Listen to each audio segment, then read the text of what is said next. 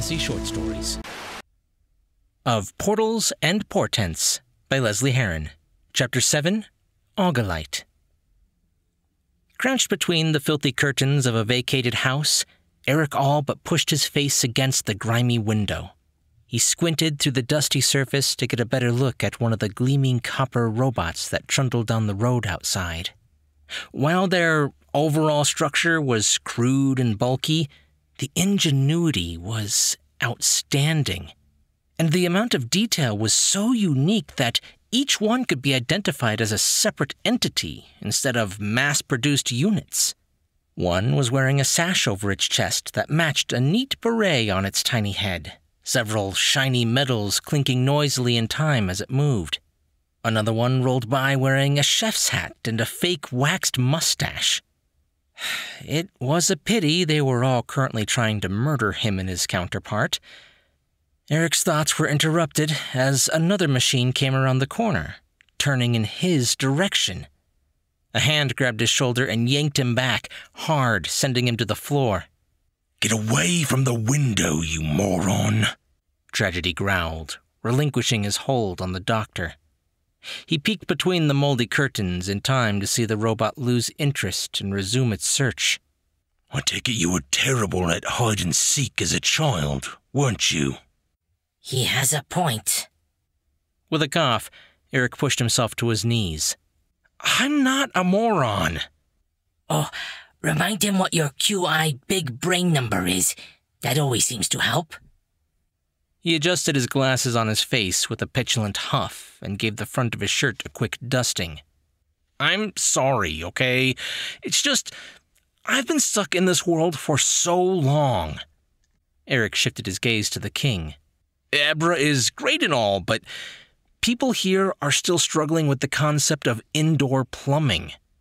He pulled a face when he noticed a sparkle of understanding from his doppelganger. This is the first higher form of technology I've seen. It's, well, it's fascinating.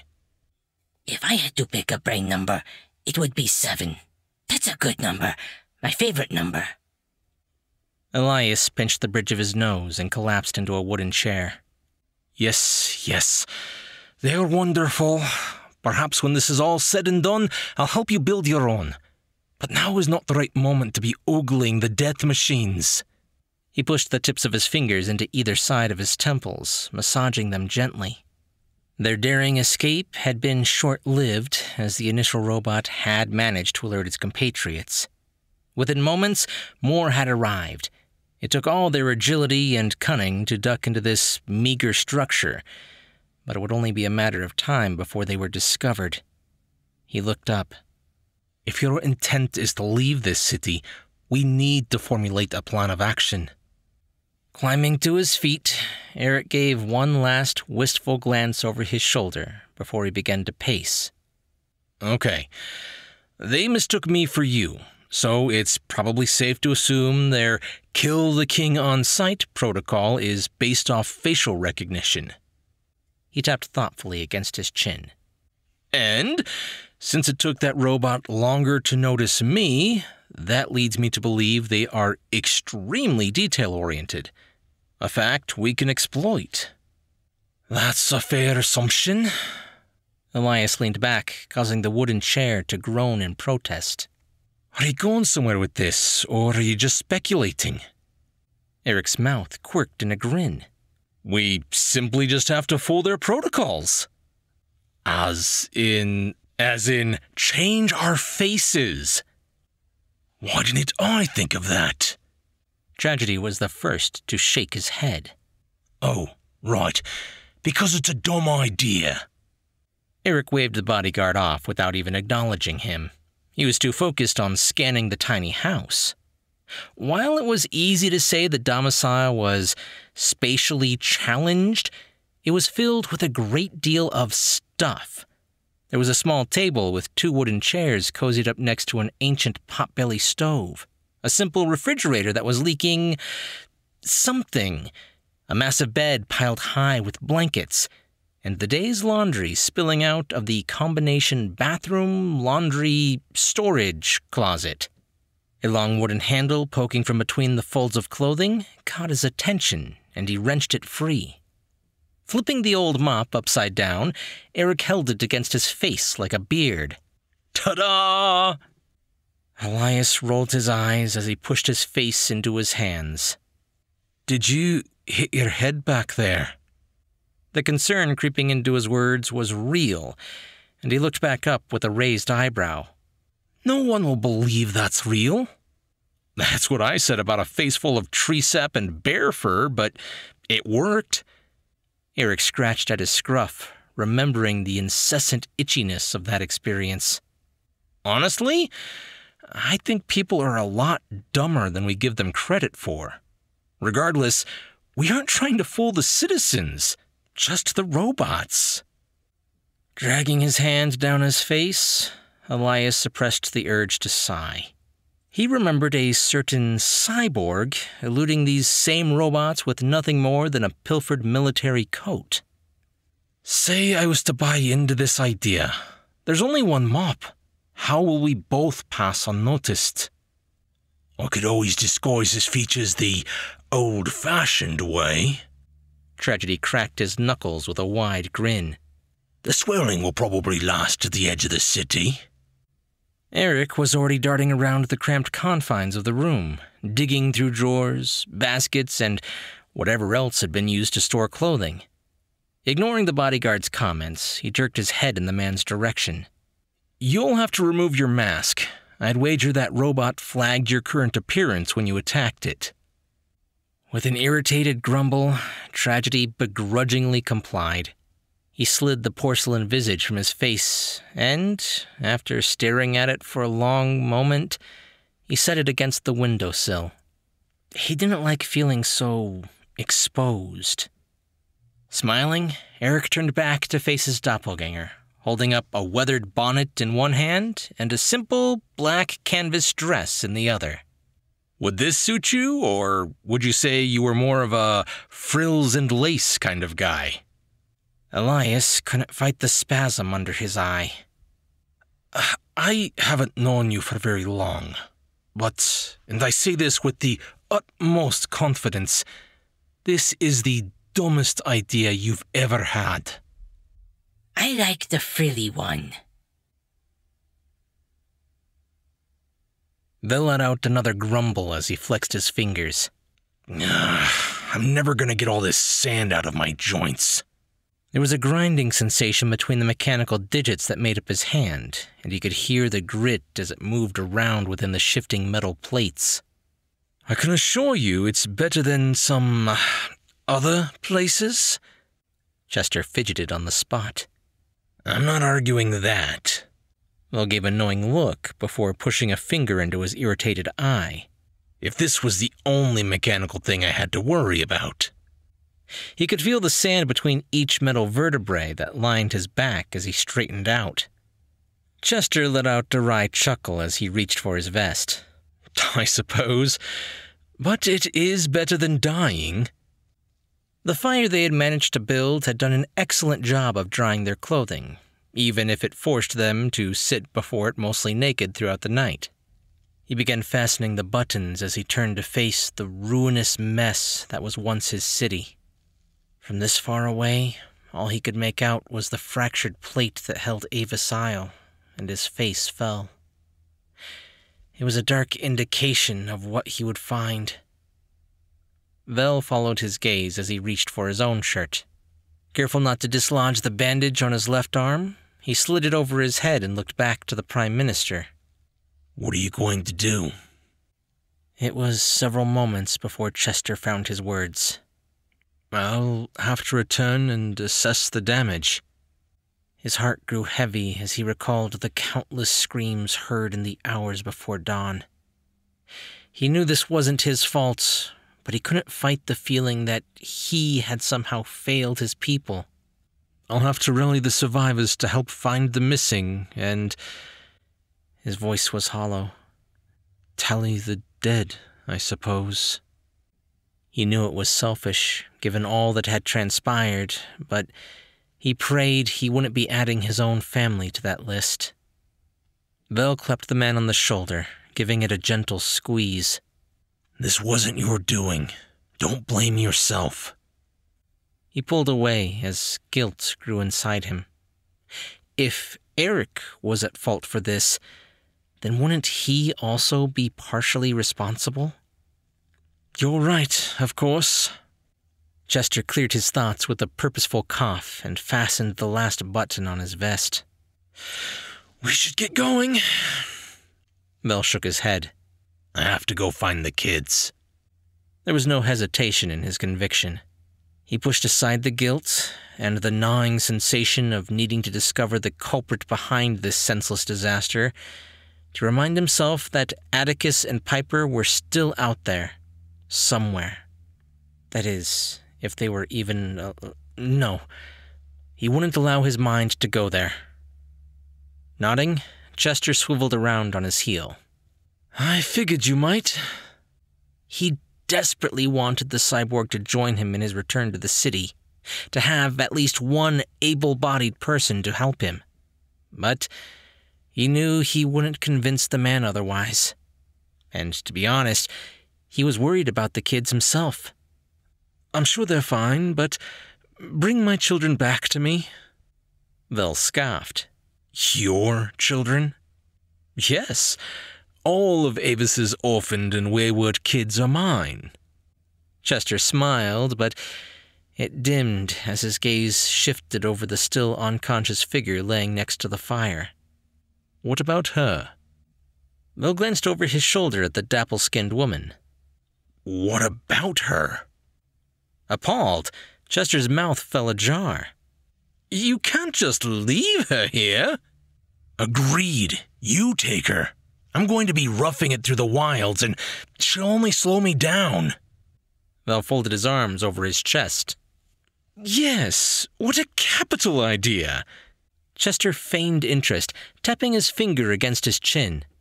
Alas, I am nowhere near as strong or as capable as you are. His face formed a line. Capable? I've got a hole in my arm. Vel pointed at it with dramatic emphasis. Chester took several steps back, clicking his tongue against his teeth. Tough break, old chap. I'm sure you'll figure it out. He took another several steps back. I have to go. My, well, my people need me. He gave a half salute before turning on his heel and darting off in the direction of Avis. Flabbergasted, Vel watched as the Prime Minister sprinted away from him at a speed he had only witnessed the man achieve once. With a roll of his eyes, he turned back to look down at the woman. As far as he and Amy could tell, she hadn't sustained any serious injuries, mostly just scrapes and bruises. Chester had helped bandage several of her cuts with some of the many shawls she had been found in. Her clothes were obviously foreign, ornate and richly dyed, speckled with gemstones. She had even been adorned in expensive jewelry. This wasn't a fashion Vel had ever seen in Avis before. Was it possible she was an inhabitant of the world they had collided with? He was about to reach for her when he remembered his wounded arm. Vel flexed it gently, experimenting with his range of motion. Given the lack of pain, the damage must have only been surface deep, despite how awful it had looked when he bandaged it. He turned his attention back to the woman and sighed. All right, I guess I'm taking you with me. He reached down and pulled her from the sand, slinging her over his shoulder. Amy, any chance you can guess which direction I should head? If you mean, can I determine the most likely flight path and extrapolate a possible impact point based off the average flight speed of a Class 3 pleasure craft cross reference with the recorded velocity of the storm's expansion, then yes, I can make a guess. A digital outline display flared to life in his vision, where his AI had managed to map some of the surroundings in their fall. Vel reached up, rubbing at the irritated eye when it flickered several times. The malfunction was likely due to the grit, but eventually a simple arrow appeared and pointed him in the direction he needed to go. He shoveled sand over the fire with his boot before setting off into the forest. Elias couldn't be sure if it was the sheer chaos unraveling in the streets, or if Eric had been right that people simply weren't all that observant. But traveling as an elderly couple in the company of their grandson, they had marched along the city without so much as a sideways glance. Come on, people! Move aside! Aside! He pressed himself up against a building, turning his face away as a group of Avis troops forced their way down the busy street. He was wearing a thin veil to obscure his features, but it wouldn't hold up on close inspection. Even this far from the epicenter of the damage, the city was crammed with terror stricken citizens looking for missing loved ones or simply milling about in shock. Laying a hand on the king's shoulder, Eric put on a show of gently steering him back into the flow of foot traffic. Come on, dear, just a bit farther. Elias shot him a dark look. You're enjoying this, aren't you? Eric shook his head violently, the mop tied to his face, threatening to come undone as he pushed a finger to his mouth. You have to disguise your voice. People will get suspicious if you don't sound like a little old lady. Elias lifted a brow, his jaw growing tight. It was bad enough that he, the ruler of this nation, had been forced into a moth eaten dress, but even he had his limits. Uh, uh, maybe it's better if you play the quietly reserved wife. It's uncanny how much you two actually sound like a bickering old couple. Tragedy shoved a passerby out of the way. But if you don't mind, we need to focus. The wall should be coming up soon. Just let me do the talking and we should. He pulled to a stop, his mouth growing slack. Where's the wall? As the street snaked towards the main road, the iron border that had been erected around the entire city, never came into view. Instead, they found it open and leading into farmland. The muddy terrain had been transformed to accommodate rice paddies, grain silos, and barns. They walked across a line of iron bricks laid into the cobblestone, marking where the border once stood, emblazoned with a plaque that read, our strength is not in our borders, but our allies. Elias grimaced. Accustomed to the greed of other nations, the wall had been built as Avis's last line of defense. Sure, their navy was unparalleled, but with a city this size, it was impossible to stop threats from entering and wreaking havoc from within. Terrorists, Spies and so called freedom fighters were sent to destabilize his nation. Locking the border had been the only way to keep his people safe. And now, the only thing stopping these dangerous individuals was swampy farmland? Sharmore should be in that direction. Eric pointed roughly south across the rice fields. Come on, dear.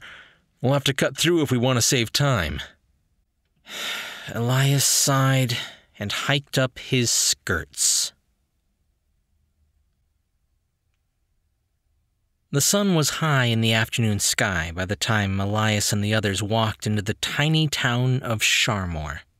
They were, all of them, sweaty and tired, the summer heat having baked them as they walked. Even using the ratty bonnet to fan his face and swat away the biting insects, a thick sheen of moisture still gathered on his forehead and caused his clothing to stick to his skin. Elias had hoped that eventually the swamps of Avis would taper out and give way to the lush green forests of Ebra, but the two had been ceaselessly intertwined. He sighed. The area of effect appeared to have been slightly larger than he had intended. At least out here, where the population was sparse, it would be less damaging. He hadn't been to this town before, only skirted along the edges, and now realized town was a misnomer. Village would have been generous for this tiny settlement. A dozen or so buildings nestled up next to the river acted as a small holding port for the Selkie tribes up north to exchange goods with their southern counterparts. Lost in thought at the odd transposition of the landscape, Elias walked right into the smelly backside of a large grazing herd animal. Much like a cow crossbred with a rhino, this lumbering beast bellowed out a sound of indignation as it shuffled a few inches away on cloven hooves. Eric, just as enthralled by their surroundings, smacked into his twin, sending the king stumbling into the midst of an entire herd of the bovine creatures. They were wandering through the town, nibbling on just about anything they could get their mouths around. Chickens ran amuck underfoot, and nearby a rooster was terrorizing several children. Sorry, this is weird. I don't remember this place being so farm like. The door to one of the nearby buildings burst open, and a billy goat came stampeding out, chased by a harried looking member of the king's guard. Another was attempting to coax several sheep from the main roof of the inn. There were dogs barking from the trees, and several cats shaking mud from their paws as they walked. A longhorned sheep pushed between them, calling out as it marched through the streets. A rusty bell around its neck rang noisily with each step. I think. Tragedy watched the animals go for several seconds before he looked around. I think these beasts are native to Avis. Eric scratched at his chin as he pulled the mop from his face. How wide of an area did you try to transpose? In truth, I barely understood the coding that I altered. Elias gave a sheepish shrug. But I'll admit, I seem to have overshot a bit. There was an indignant huff in the back of Eric's mind, but Wraith said nothing. He wanted to agree with the shadow bug, to lecture the king about the recklessness of his actions once again, but frankly, it was hard to focus on anything other than the nude woman who had just fled from the small two story building, being chased by several chickens. There was a long, stagnant pause as each member of the group scrabbled to find the words. Aw, come back! I told ya, I didn't summon the chickens! Eric turned back to the rundown building at the sound of a familiar voice. Atlas was standing on the last step, buck naked, with his usual bathrobe flapping in the wind, calling after the woman. Before he could wave down the Arcanist, he was gone, ducking back into the building. Pushing his fingers into his temples, Elias closed his eyes. Let me guess. He dropped his hand with a lofty gesture at the building. That's who we're here to see? Uh, yeah. That'd be Atlas. Eric let out a nervous chuckle. I figured this was the closest, uh, brothel on this side of the river. Okay. Elias wasn't mentally prepared for the antics of a sex crazed arcanist and the sudden appearance of farmland and animals. He turned to his bodyguard. Tragedy, rally the King's Guard and get them helping the civilians instead of herding livestock, please. He sighed heavily. Apparently, we have an appointment with a nude mage.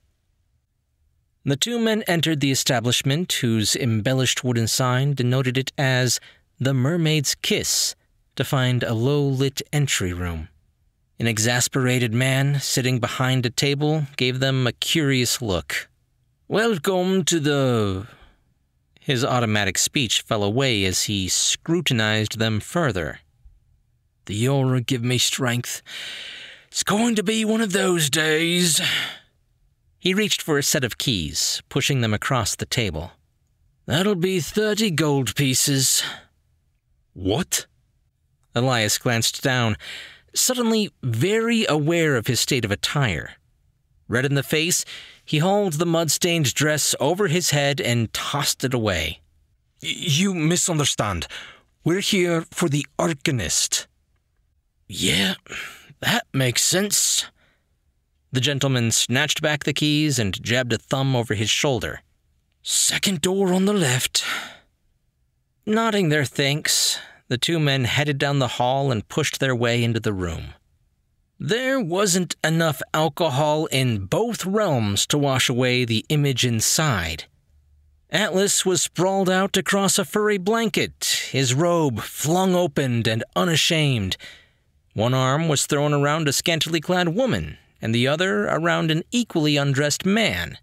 The two were taking turns feeding him bits of fruit and cheese from a platter laid out across his bare chest. Eric's mouth fell ajar when he realized all three of them were laying on the large backside of a bear. He pushed his fingers against his forehead, shielding his eyes as Atlas leaned over to feed a bunch of grapes to Barry. Elias wasn't sure if he should be impressed or insulted, but he cleared his throat with a loud cough as he pushed his hands against his hips. Glancing up, Atlas went sheet white as he recognized the face staring at him in duplicate. Choking on the bits of food, he rolled off the bear and staggered backwards towards the wall. I know what you're thinking. He hacked several more times as he hastily attempted to shield his shame. But it's not my fault. Eric raised an eyebrow. What's your fault? Atlas looked back and forth between the two. The animals? The crops? The weird city in the distance? Oh, uh, that. Eric scratched at his stubble before waving the Arcanist off. No, we know it wasn't you. What we need is help tracking someone, or rather, someone's. So I'm not in trouble then? Atlas took a deep breath and moved over to a side table, shakily pouring himself a glass of wine. Whew, thank the goddess. He threw it back, washing down the food, and poured himself another. I thought maybe I'd gotten carried away during my second round this morning and accidentally caused all that. Eric took a steadying breath. No, no trouble. But do you think you can lend us a hand? Uh, one for me to find my brother, and one for. He threw a hand out behind him, gesturing to the king. Him to find his wife. Atlas flopped back down on Barry, the back of his head landing expertly in the lap of the almost naked man. Sorry, but no. Dragging a hand down his face, Eric willed away his frustration. You wouldn't even have to leave. We just need you to perform a tracking spell. It will take like five minutes of your time. Atlas waggled a finger back and forth. How many times do we have to go over this? He sat up, his drink in danger of spilling. Any spell cast by me would just take you back to Varen, or maybe this one here, considering he's your duplicate. He turned his narrow gaze on the king. And unless you're related to your wife, no judgment from me, by the way, it would be a waste of magic. He took a long gulp of his wine before turning back to the doctor. I appreciate all that you've done for me, but I can't help you. I can only do a simple blood binding. You need an actual tracking mage. The kind, you know, you find in Still Harbor and not here. Crestfallen, Eric's shoulders slumped. Well, can you help us find a tracking mage then? As I recall, you said most of them are charlatans. It would be useful to have someone who could sift through the lies. No can do, I'm afraid. He leaned over, drawing a finger along the woman's chin and sending her into a fit of giggles. A bit preoccupied right now. Elias stepped forward, his fingers flexing. Perhaps you simply need the right encouragement. Whoa, whoa! Hey, stop! Eric threw out his hands, ready to push the king back, but was knocked out of the way as the bear reared up, dumping the trio to the ground and lunging forward, pinning the king to the wall with a single paw. Standing on his hind legs, his large head neatly scraping the ceiling, Barry let out a tremendous roar, his lips peeled back to reveal angry yellow teeth. That's not what I meant, Elias wheezed, struggling to return air back to his lungs. You've been changed by magic, haven't you? Barry faltered, his roar subsiding as he removed his paw from the man. Elias pulled himself out of the divot in the wall, sucking in air. The thing within him had sensed the bear's true nature, and somehow he understood why it was stuck in that form. He turned to the Arcanist. Come with us. Help us find this tracking mage, and I promise to return your friend to his human state. His goblet of wine slipped from his hands as Atlas's gaze shifted between Barry and the king. Headmaster Wilfred told us he couldn't be changed back again. That old wizard was right about not changing him back with his magic. Elias smiled gently. But I know a few things he doesn't. He stepped around the bear, extending his hand. Will you help us? He could tell the Arcanist would need further prompting as the man hesitated to seal the deal. And you'll be handsomely rewarded for your efforts. More than enough to accommodate your luxurious lifestyle. Atlas didn't like feeling backed into a corner and was about ready to tell the both of them to piss off when Barry gave him a pleading, dewy eyed look. With a heavy sigh, he thrust his own hand out, grasping the king's in a firm handshake. He could never say no to that face. Fine, fine, I'll help. Good. Elias's grin only grew as he turned to his doppelganger. All right, master of subterfuge. Any ideas on how we can sneak back into Avis and steal an airship?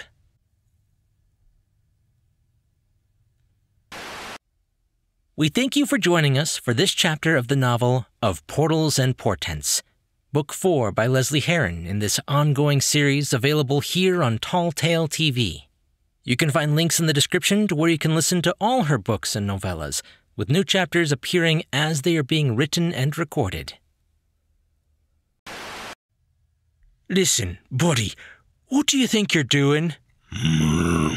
I don't care if you called the bed. You know I need it more than you do. oh, right. Just use the floor? You can't even imagine how painful the splinters would be. Trust me, I know. Now get down and let me have it, at least for a while. You know what? Come here. Yeah, you little. Take that! Ow! Did you bite me? Hold still, you little... Well, damn. Now neither of us get it. You know what? I have an idea. All right, everybody. Dog pile! I call the short blade. I suppose that works. Oh my.